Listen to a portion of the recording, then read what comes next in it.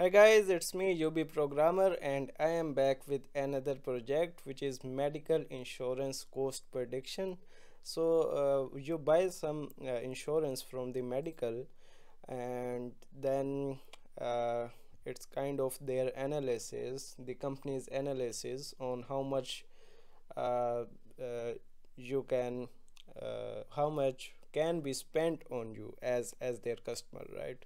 So uh, you enter your age gender and some health parameter which is bmi then children and uh, the region and the uh, your smoke condition you do you smoke or not and then it will try to predict this much amount uh, can be spent on you right if you are their customer okay so that's exactly the project uh, description is saying. Please enter the required information and this will tell you how much uh, money will be spent uh, with the help of obviously machine learning algorithms.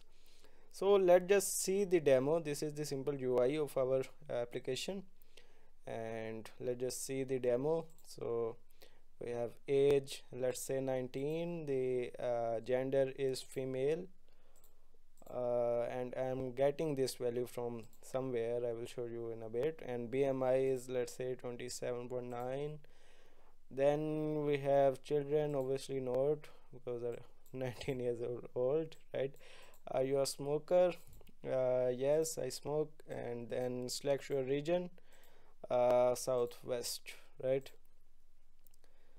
Okay and uh, let's submit it and when you submit it you get output as uh, 16971 dollar right? This much amount can be spent on you right?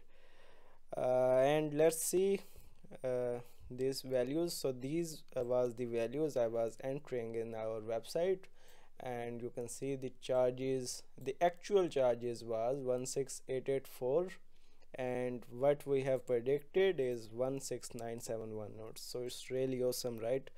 Uh, they are not really far away. And uh, that was the main motive. Okay. And uh, let's see the code part of it now and you can get this uh, source code by uh, seeing the uh, description uh, there will be a link about it right? So um, uh, uh, importing some libraries which will be useful in our analysis and model making then let me just show you the app first and then I will explain a bit right? So this is the app and as you can see we are deploying it on the flask so we have imported this and then this is the model and from where we are getting this model is from this notebook. We are analyzing our data. This is the data right? Then we are doing some visualizations on the data. And then after doing some EDA uh, I'm dealing with the categorical variables. Then uh, we have imported the linear regression and we are applying it. And the linear regression is giving me the accuracy or r squared as 75% which is kind of low right? Uh, so what I have done is uh, implemented the random forest regressor and this is giving me the accuracy of 97% so that's really cool right?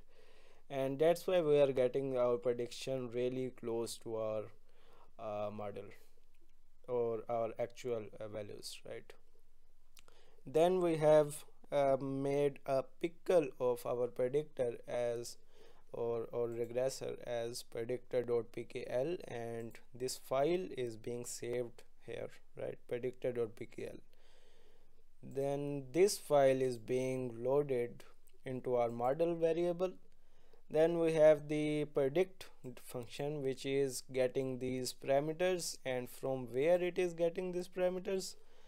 Uh, let's talk about that now. Obviously from the from this web page right? And this web page is basically the index.html of our flask app.